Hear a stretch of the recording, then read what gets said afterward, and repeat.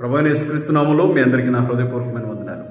భయంకరమైనటువంటి ఈ కరోనా తెగులు భూమి మీదకి వచ్చిన తర్వాత అనేక మంది వారి ప్రాణాలు పోగొట్టుకున్న విషయం నేను తెలిసిందే. చిన్నపిల్లలు చనిపోయారు యవనస్తులు చనిపోయారు నడువయసులో ఉన్నవాళ్ళు చనిపోయారు వృద్ధులు చనిపోయారు పేదవారు చనిపోయారు ఉన్నవారు చనిపోయారు పేరు ప్రతిష్టలు కలిగిన వారు చనిపోయారు బలవంతులు చనిపోయారు బలవంతులుగా పిలువబడిన వారు చనిపోయారు.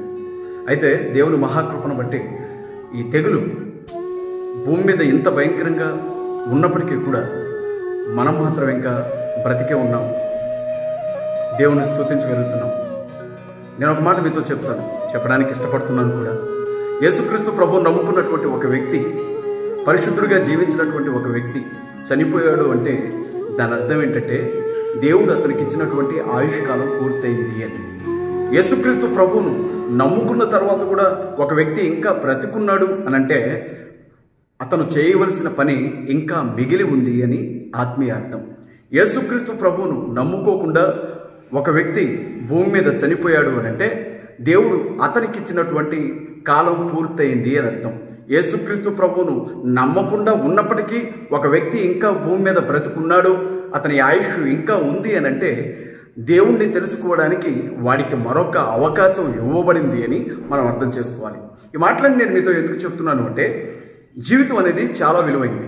మరణం ఏ రోజు వస్తుందో ఏ రోజు భూలోకాన్ని వదిలిపెట్టి వెళ్ళిపోతామో మనకు తెలియదు అనేక మంది భూలోకాన్ని వదిలిపెట్టి వెళ్ళిపోతున్నటువంటి కాలంలో మనం ఉన్నాం. ఆకులు రాలిపోయినట్లుగా చేత మీద నుంచి నీటి బిందువులు జారిపోయినట్లుగా గాలికి దుమ్ము ఎగిరిపోయినట్లుగా మనుషులు చనిపోతూ ఉన్నారు. ఈరోజు మనిషి చనిపోవడం అనేది చాలా తేలికైనటువంటి విషయం. మనుషుల చావులు ప్రతి క్షణం కూడా మన కళ్ళ ముందు కనబడుతూనే ఉన్నాయి.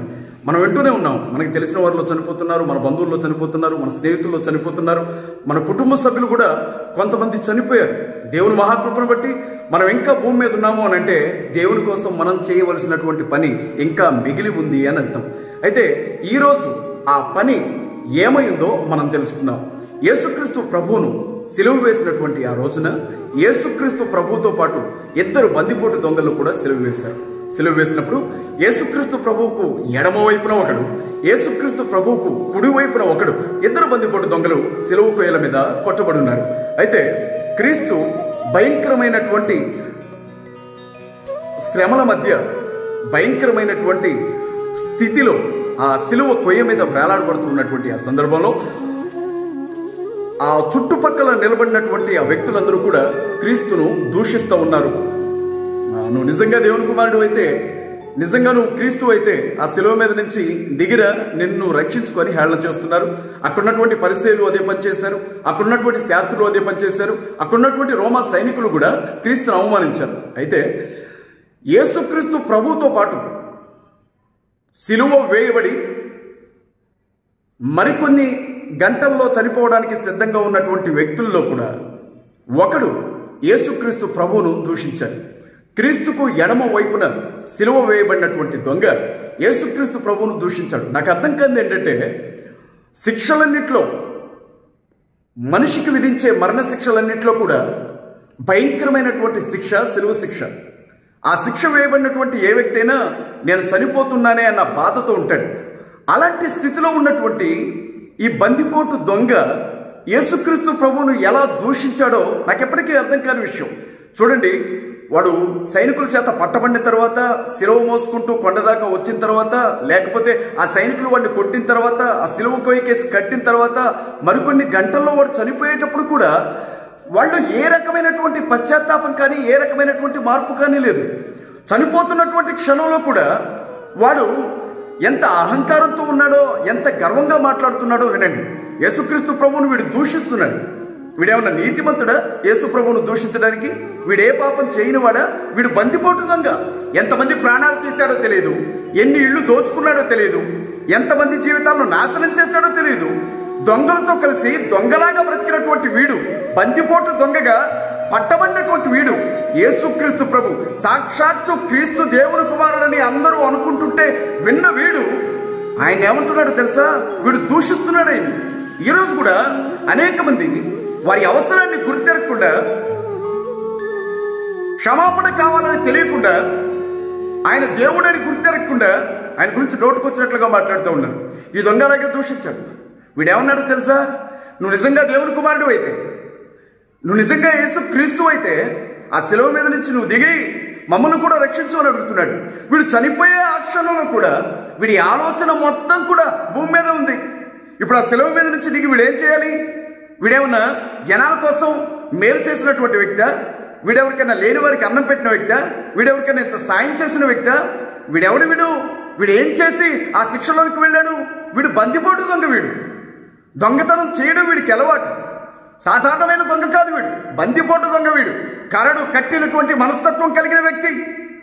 ఏమాత్రం జాలి దయ కనికరం లేకుండా మనుషుల ప్రాణాలు తీసిన వీడు తనతో పాటే దేవుడు ఉన్నటువంటి అంత గొప్ప సమయంలో కూడా తన ప్రక్కనే క్రీస్తు శిలువ మీద వేలాడుతున్న అంత గొప్ప సమయంలో కూడా క్రీస్తు వైపు చూడకుండా భూలోక వైపే చూస్తున్నాడు వీడు. క్రీస్తుని ఏమడుగుతున్నాడు తెలుసా? నువ్వు నిజంగా దేవుని కుమారుడు అయితే నువ్వు ముందు శిలువ మీద నుంచి దిగు ఆ దిగి మమ్మల్ని కూడా ఇక్కడి నుంచి రక్షించు అని అడుగుతున్నాడు వీడు. ఈరోజు వాడి వ్యక్తిత్వం కలిగిన వారు భూమి మీద సగ భాగం ఉన్నారు అంటే ఆశ్చర్యం కాదు. దేవుడు కళ్ళ ముందు రక్షణ మార్గాన్ని ఏర్పాటు చేసిన తర్వాత కూడా దేవుణ్ణి దూషించడానికి ఏమాత్రం వెనకాడినటువంటి వ్యక్తులు మీరు యేసుక్రీస్తు ప్రభు ఎదురుగా ఉన్నప్పుడు చేసినటువంటి పాపాలను ఒప్పుకోవాలి. యేసుక్రీస్తు ప్రభు ఎదురుగా ఉన్నప్పుడు క్షమాపణ అడగాలి.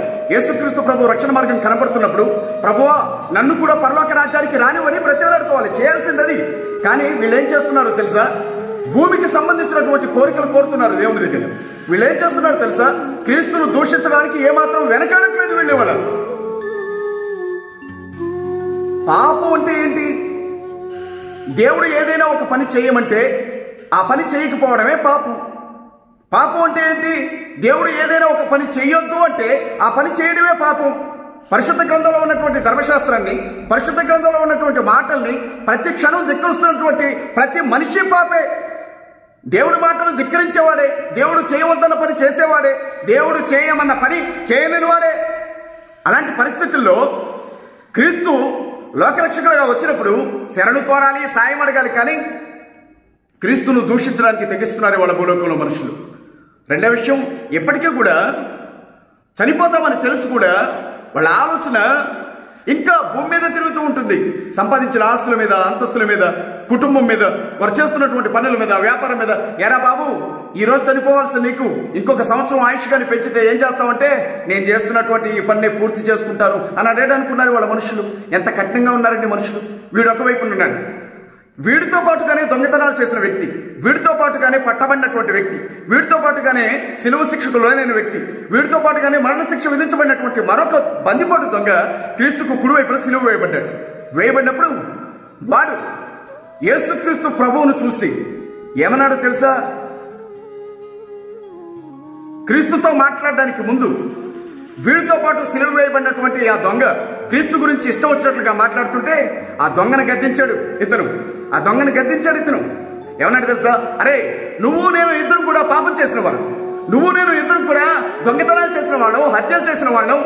నువ్వు నేను ఇద్దరం కూడా ఇష్టానుసారంగా బతికిన వాళ్ళం. అనేక మంది రక్తం తీసిన వాళ్ళం ప్రాణం ప్రాణాలు తీసేసిన వాళ్ళం. నీకు నాకు ఈ శిక్ష విధించడంలో ఏ తప్పు లేదు. మన పాపలు మనకు మాట శిక్ష విధించవచ్చు కానీ ఆయన ఏం తప్పు చేశాడు రా ఏ నేరమో చేయలేదు కదా. రోగాలతో వచ్చిన వాడిని స్వస్థపరిచాడు. చనిపోయిన వారిని లేవనెత్తాడు. పాపాలు చేసిన వారిని క్షమించాడు. భూలోకంలో నిస్సహాయ స్థితిలో ఉన్న వారికి వెలుగుగా నిలవబడ్డాడు. ఆయన పట్టుకొని తిట్టడానికి నీకు నోరెలా వస్తుందిరా? అయినా చనిపోయే ఈ సమయంలో యేసుక్రీస్తు ప్రభు దగ్గర ఎదురుగా ఉంటే క్షమాపణ అడగాల్సింది పోయి ఏం మాట్లాడుతున్నావురా నువ్వు అని గద్దించాడేమో బహుశా. యేసుక్రీస్తు ప్రభుని ఏమన్నాడో తెలుసా? ప్రభువా నేను పాపినయ్యా. అయితే నీతో పాటు నీ పక్కన నేను సిలువ వేయబడినటువంటి ఈ సమయంలో నేను నిన్న ఒక మాట అడుగుతున్నాను. నీవు రాజు నాకు తెలుసు. నీ రాజ్యంలోనికి నువ్వు వచ్చినప్పుడు నన్ను జ్ఞాపకం చేసుకోగలవా అని అడిగాడు. యేసుక్రీస్తు ప్రభువుని ఇష్టం వచ్చినట్లుగా దూషించిన ఆ దొంగ ఎన్ని మాటలు మాట్లాడినా క్రీస్తు మాట్లాడలేదు. యేసుక్రీస్తు ప్రభు గురించి ఇష్టం వచ్చినట్లుగా తిట్టినటువంటి ఆ దొంగ మాట్లాడితే క్రీస్తు ఏమి మాట్లాడలేదు సమాధానం ఇవ్వలేదు. కానీ ఈ దొంగ ఎప్పుడైతే తిడుతున్నటువంటి వాడిని గద్దించి ప్రభువా నీ రాజ్యంలోనికి నువ్వు వచ్చినప్పుడు నన్ను జ్ఞాపకం చేసుకోగలవా? అని అన్నాడు. వీడి యొక్క మానసిక పరిస్థితిని గమనించాడు క్రీస్తు. అవును నేను పాపినని వాడు అర్థం చేసుకున్నాడు. నాకు క్షమాపణ కావాలని వాడికి అర్థమైంది. నేను దేవుని ముందు నిలబడాలని వాడికి అర్థమైంది. ఇదే స్థితిలో నేను చనిపోతే నరకానికి వెళ్ళిపోతానని వాడికి అర్థమైంది. నాకు తప్పనిసరిగా ఒక రక్షకుడు కావాలని వాడికి అర్థమైంది. అలాంటి రక్షకుడు ఈ రోజు నాతో పాటే పక్కన శిలువ మీద వేలాడుతున్నాడని వాడు గమనించగలిగాడు. వేలాడుతున్నది సాధారణమైన వ్యక్తి కాదు. ఆయనకు ఒక రాజ్యం ఉందని వీడికి తెలిసింది. ఆయన ఒక రాజుని వీడు గమనించాడు. ఆయన ఒక రక్షకుడని వీడికి తెలుసు. ఆయన ఏ పాపం చేయకుండానే సిలువ కొట్టబడ్డాడని వీడు బలంగా నమ్మాడు. ఆయన ఏ తప్పు చేయకుండానే మనుషుల కోసం చనిపోతున్నాడు అని వీడికి అర్థమైంది. కాబట్టి వీడు ఏమన్నాడు తెలుసా? నీవు నీ రాజ్యంలోకి వచ్చినప్పుడు నన్ను జ్ఞాపకం చేసుకోగలవా అన్నాడు. ఈరోజు యేసుక్రీస్తు ప్రభువుని నమ్ముకుని యేసుక్రీస్తు ప్రభు దగ్గరకు వచ్చి పాప క్షమాపణ పొంది నీతిగా బ్రతుకుతున్నటువంటి వారు. ఒకప్పుడు ఈ బందిపోటు దొంగను పోలిన వారే నేనైనా నువ్వైనా ఎవరైనా. అయితే మనం మన జీవితానికి ఒక రక్షకుడు కావాలని గమనించాం. పాప జీవితాన్ని వదిలిపెట్టాలని ఆశపడ్డాం. క్రీస్తుతో కలిసి నడవాలని కోరుకున్నాం. క్రీస్తున్న రాజ్యంలో ఉండాలని ఆశపడ్డాం. అందుకే యేసుక్రీస్తు ప్రభువుని ప్రభువా నన్ను క్షమించవా? అని అడిగాం. అయితే క్షమించమని అడిగిన ఏ ఒక్కరిని త్రోసివేసిన వాడు కాదు నా యేసయ్య కేవలం ఆయన నీ రాజ్యంలోనికి నువ్వు వచ్చినప్పుడు నన్ను జ్ఞాపకం చేసుకోమని దొంగడితే ఏసేమన్నాడు తెలుసా? నేను నా రాజ్యంలోనికి వచ్చినప్పుడు నేను జ్ఞాపకం చేసుకుంటా అనలేదు కానీ నువ్వు ఈ రోజే నిశ్చయముగా ఈరోజే నాతో పాటు పరదేశంలో ఉంటావని చెప్పాడు. మనం నమ్ముకున్నటువంటి దేవుడు చివరి క్షణంలో నువ్వు మొరపెట్టినా నిన్ను క్షమించడానికి సిద్ధంగా ఉన్నటువంటి దేవుడు. అలాంటి గొప్ప దేవుణ్ణి మనం నమ్ముకున్నాం. ఈరోజు బందిపోటు దొంగలు ఇద్దరు రెండు రకాలుగా ప్రవర్తించారు. బందిపోటు దొంగలు ఇద్దరు చనిపోతున్నటువంటి ఆ సమయంలో క్రీస్తు ముందు ఉన్నప్పుడు రెండు రకాలుగా స్పందించారు. ఒకడు క్రీస్తును తిట్టి తప్పించుకొని వెళ్ళిపోవాలనుకున్నాడు. ఇంకొకడు తను పాపినని గ్రహించి క్రీస్తును క్షమాపణ అడిగాడు. ఈరోజు భూమి మీద రెండు రకాల వ్యక్తులు ఉన్నారు. ఒకరేమో వారు పాపులని తెలిసిన దేవుని మాటను మీరు వినేవారం కాదు అని తెలిసిన మన పద్ధతి సరిగా ఉండదని తెలిసిన దేవుణ్ణి దూషిస్తూనే బ్రతుకుతున్నారు. మారుమనసు లేదు చనిపోవడానికి వచ్చినప్పుడు కూడా. రెండవ రకానికి సంబంధించిన వారు వీరు రక్షణ పొందడానికి ఇష్టపడేవారు క్రీస్తుతో కలిసి బ్రతకడానికి ఇష్టపడేవారు. ఈరోజు ప్రియమైనటువంటి దేవుని పిల్లరా నువ్వు క్షమాపణ అడిగితే నిన్ను మన్నించడానికి క్రీస్తు సిద్ధంగా ఉన్నాడు. నువ్వు సాయం చేస్తావా ప్రభు అని అడిగితే నీకు సాయం చేయడానికి క్రీస్తు సిద్ధంగా ఉన్నాడు. నీ చుట్టూ చెలరేగుతున్నటువంటి ఆ భయంకరమైన శోధనల నుంచి నిన్ను యేసుక్రీస్తు ప్రభు తప్పించగలడు. ఈ లోకంలో నీకు ఎవరైనా తినడానికి అడిగితే ఒక ముద్దన్నం పెట్టగలరేమో బట్ట లేకపోతే ఎవరైనా రెండు వస్త్రాలు ఇవ్వగలరేమో ఇల్లు లేకపోతే ఎవరైనా ఇల్లు కట్టి పెట్టగలరేమో కానీ రక్తం లేకపోతే నీకు ఎవరైనా నీ గ్రూప్ రక్తం ఇవ్వగలరేమో కానీ పాపాన్ని క్షమించగలిగిన వాడెవడు? యేసుక్రీస్తు ప్రభు తప్ప మనుషుల పాపాన్ని క్షమించగలిగిన వాడెవడు? క్రీస్తు రక్తం ద్వారా మాత్రమే పాప క్షమాపణ. ఈ భూలోకంలో ఉన్నటువంటి వ్యక్తి పరలోకానికి వెళ్ళాలి అంటే వాడు ముందు ఒకే ఒక్క దారి ఉంది. అది యేసుక్రీస్తు ప్రభువుని వాడు నమ్మడమే. అది కూడా వాడు బ్రతుకుండగానే యేసుక్రీస్తు ప్రభువుని నమ్ముకోవాలి. ఆ మార్గంలోనికి ప్రవేశించాలి. లేకపోతే ఎవడు పరలోకానికి వెళ్ళాడు ప్రభు అని క్రీస్తు చెప్పారు నా ద్వారానే తప్ప నేనే సత్యమును మార్గమును జీవమును నా ద్వారానే తప్ప ఎవడు నా తండ్రి యొక్కకు రాడు అని. ఈరోజు చనిపోయిన తర్వాత కూడా ఆత్మ బ్రతికే ఉంటుందని నువ్వు నమ్మితే ఈరోజు నేను కూడా దేవుని మాటను అనేక సార్లు ధిక్కరించాను. దేవుడు చేయమన్నవి చేయలేదు దేవుడు చేయొద్దన్నవే చేశాను. నా జీవితం అంతా ఇలాగే గడుస్తూ వచ్చింది. ఒకవేళ ఇదే పాపం అయితే నేను పాపినే నేను గమనించగలిగితే ఇదే అనుకూల సమయం. ఎందుకో తెలుసా? ఎందుకో తెలుసా? గాలికి పువ్వులు కొట్టుకొని పోయినట్లుగా మనుషులు చచ్చిపోతున్నారు. ఏమో? ఈరోజే చనిపోతామేమో? రేపటితో నీ ఆయుష్కాలం ముగిసిపోతుందేమో? ఇంకా మారు మనసు పొందడానికి నీకు ఒక అవకాశం ఇవ్వబడిందేమో? ఇప్పటికి కూడా నువ్వు రక్షణ పొందకపోతే దేవుడు ఒకవేళ నీ ప్రాణాన్ని తీస్తే నిర్దాక్షిణ్యంగా అగ్నిగుండంలోనికి వెళ్ళిపోతావు. జాగ్రత్త. బందిపడు దొంగల్లో ఒక్కడు మాత్రమే సరైనటువంటి మాట క్రీస్తుని అడిగి క్రీస్తుతో పాటు పరదేశంలో కాలు పెట్టగలిగాడు. ఈరోజు నీ జీవితాన్ని నువ్వు సరిచూసుకో దేవుడు నిన్ను ఆశీర్వదించును గాక ఆమె